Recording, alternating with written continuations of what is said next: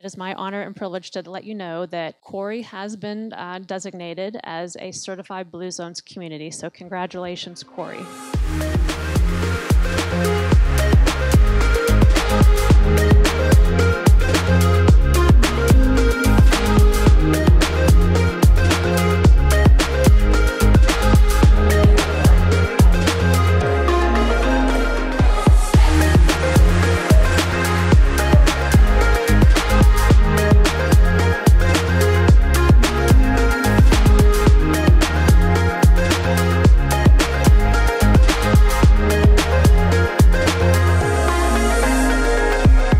You're the again the first project in the Northeast region of the United States, and now you can call yourself. You're not just a demonstration project anymore. You are a certified Blue Zones community. So congratulations. Yeah!